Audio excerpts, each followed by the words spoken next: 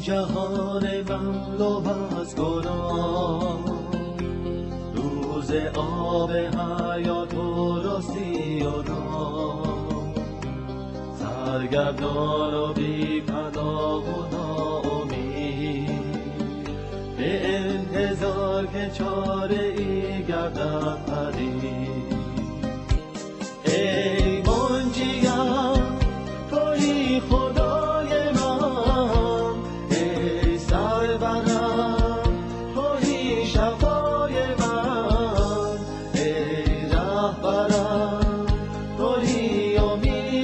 امید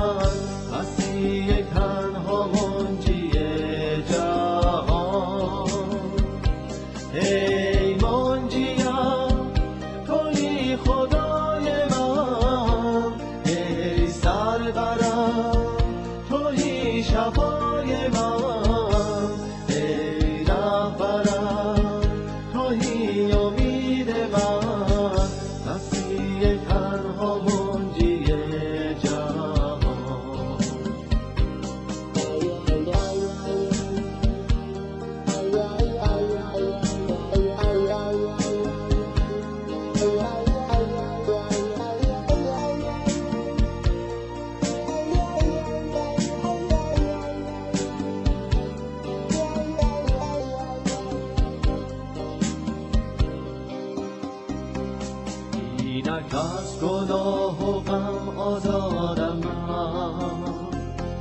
بی چگونه در حضورش شادم دائما قلبم در جستجوی او.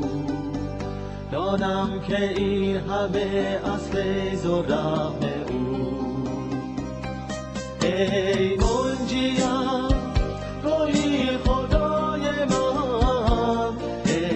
سرورم توی شفای من ای رهبرم توی امید من مسیح تنها منجی جهان.